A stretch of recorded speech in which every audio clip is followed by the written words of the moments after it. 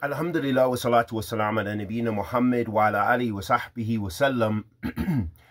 Amma ba'da habati fillah. Assalamu alaikum rahmatullahi wa barakatuh. Hayyak Allah. We ask that Allah subhanahu wa ta'ala the Almighty accepts our good and forgives our evil and protects us from kulli suwa makruh. Fillah. A question was asked regarding the decree of Allah subhanahu wa ta'ala, regarding the divine decree of Allah subhanahu wa ta'ala, as many people have these kind of questions, which are, uh, we're not belittling the importance of these questions, but we do want to point out a few things when people tend to go in depth about things they're not asked to go in depth about.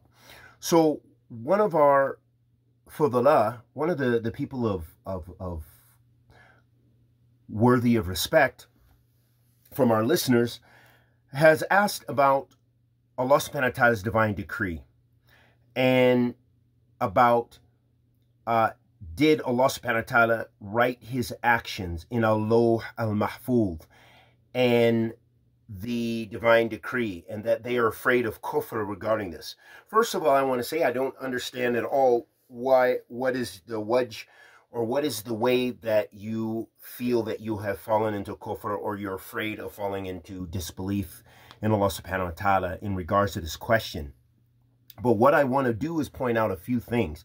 We know that uh, believing in the Qadr of Allah subhanahu wa ta'ala, as the Prophet والسلام, mentioned, and Allah ta'ala first and foremost mentions in the Quran, Kulu shayin khalaqana bil Qadr, Allah subhanahu wa ta'ala mentioned every, that everything is created in due measurement and it's, it's decreed uh, by Him subhanahu wa ta'ala, and He is the creator of the heavens and earth, the creator of everything subhanahu wa ta'ala. And we know that Allah ta'ala, uh, everything is written in al-Lawh Al-Mahfuz. And we know that Allah subhanahu wa ta'ala has knowledge over everything. And He is a Sami' al-Basir. And He is all-hearing and all-seeing, subhanahu wa ta'ala. We know these things. And we know that Allah subhanahu wa ta'ala, that everything comes by the Mashiatillah. Everything is in accordance with the will of Allah subhanahu wa ta'ala. Nothing escapes it.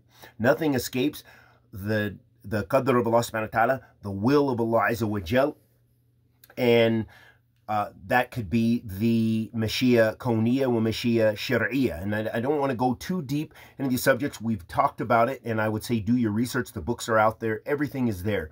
But I just want to stick more specifically with your question as best as we can and some points regarding it. The first thing Habbatullah I want to mention is that the Prophet ﷺ has mentioned, do not go deep into the Qadr Do not khud fil qadr. And this was the methodology of Ahlul Sunnati wal Jama'ah and why it's the safest minhaj because it's in accordance to what the Prophet والسلام, uh, uh, stated, practiced, uh, etc. And so, since our beloved Prophet والسلام, said, do not go deep in the qadr, don't question it, don't philosophize about it, don't debate with the philosophers, don't debate with Ahl Bid'ah, don't take their ideologies, don't take the way they try to question you, even the people of disbelief in Zandaka, they try to question you to try to take you away from Islam, to cause doubt in your deen. Don't even entertain that. Don't even listen to that. And return to the book and the sunnah. What I mean is study, read, kathrata kira'ah. Read a lot about the decree of Allah subhanahu wa ta'ala from the Quran and the Sunnah, and then the Menhaj of the Salaf, meaning the, the books of the Salaf, and then you have what you need. You don't need to go beyond that. Second point, which stems from that, which is do not go deep into that which has no impact on your creed and practice. Think about your questions, uh, beloved one. That is it going to help you pray Fajr? Is it going to help you uh, cooperate with your brothers and sisters in Islam today and tomorrow? Is it going to help you fast in Ramadan? Is it going to encourage you to make Qiyam al-Layl? Is it going to encourage you to stay away from the Muharramat, those things which are impermissible? And I'm sure that you'll that you will actually be able to say no to all of those questions. That that this has no impact on your practice of Islam. You're a Muslim, you're trying to practice Islam, you're trying to die upon Islam. No impact, no benefit, to go deep into those issues. So that's one thing. Secondly, it has no uh, uh, impact on your creed, your i'tiqad. You don't, you're not, you don't need to go into those issues.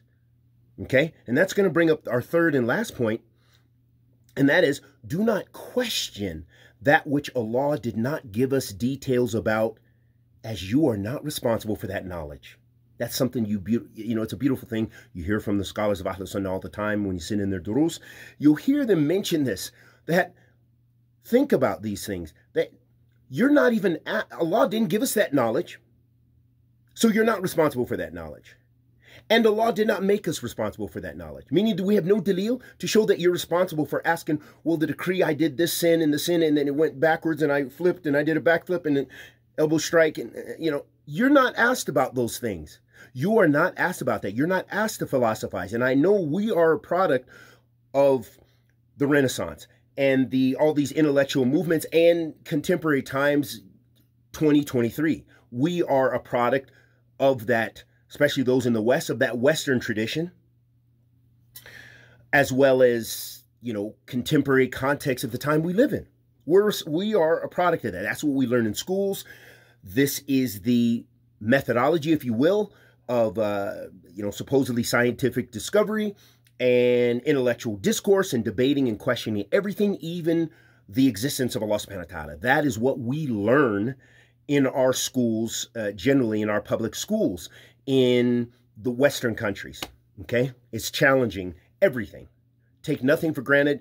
What is love? What is faith? What is what is God? What is spirituality to you? What is morality to you? We are taught to question those things you have to kick aside. And I know it's difficult, but when you are a practicing Muslim and a learned Muslim, meaning you are trying to adhere to the Book of Allah and the Sunnah of the Messenger of Allah, والسلام, and the madhab of the Salaf salih which there is no other madhab which is legitimate, what did Green say? No other madhab that's legitimate. Going back to the Kitab and the Sunnah and the madhab of the Salaf, then you will stop where the Salaf stopped and safety in your dean because you you don't even have to debate that you don't have to uh, question and get in debate with this guy and this guy and and and this philosopher and that philosopher because you're going back to what you're supposed to be and that's the mastar and that's the usul the foundation principles which you gain learn the pillars of Iman, Sitta, six, and tu'minu bi qadri khayrihi wa. Believe in the divine decree of Allah subhanahu wa ta'ala, the good and the evil of it. So Allah didn't give you extensive details about the qadr, so you're not responsible for it. And Allah, there's no dalil from the Quran and the Sunnah, nor the madhab of the Salaf, to show us that we are responsible for that knowledge. We are responsible, as Ibn, uh, Abdullah ibn Mas'ud radiallahu ta'ala, wa kathir min salaf salih, خاصة الصحابة رضي الله تعالى عنهم أجمعين mention we are responsible for that which was revealed. And we're responsible for ittiba, ليس uh, ibtida. We are responsible for adhering strictly to the book and the sunnah and taking our aqidah from there and not innovating, not going to class and all of a sudden you're questioning, does a law exist? Oh, what is this thing you guys, you Muslims call the qadr, the divine decree? And, and, people of faith, because even the Christians believe, uh, especially practicing ones, believe in the, the, the qadr and probably other faiths as well. They believe in uh, at a level of the decree of Allah subhanahu wa ta'ala. So we don't have to go and ask those questions, nor do we have to get into the debates of Ahl Bid'ah that the Salaf had to deal with. That's why they wrote about the Qadr and went a little bit more into those issues, only because the people of desires were causing doubt amongst the Muslims. So then they responded by going back to the Usul al-I'tiqad Ahl Sunnah and detailing issues, debating and arguing and destroying the doubts of the people of bid'ah and desires. So you are only responsible for what you're responsible for. And we ask Allah subhanahu wa ta'ala, the Almighty, to accept our good and forgive our evil. Sallallahu alaihi wa sallam ala Muhammad.